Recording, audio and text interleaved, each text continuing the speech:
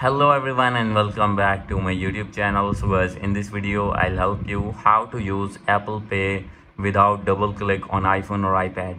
So guys if you're using any ios device and when you are using uh, your apple pay and you need to uh, verify your face id and you need to double click on this button so guys i'll help you how can you use your apple pay without double click. So let's get started without wasting any time. So guys first of all you need to open your settings click on general and you need to update your device to latest ios version. And guys after this you need to go back.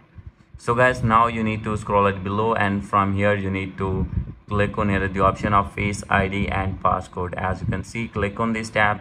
Here you need to enter your passcode that you have set on for unlock on your iphone or ipad. And guys after this you will find this type of interface.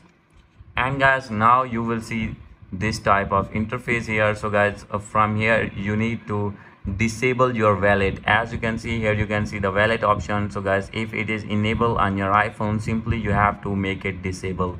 And guys after disabling it then guys no need to double click to use your uh, apple pay or any other wallet on your iphone or ipad. So guys this is easy way to turn off double click on apple pay. So guys hope you like this video if you like this video please do subscribe my channel. Thank you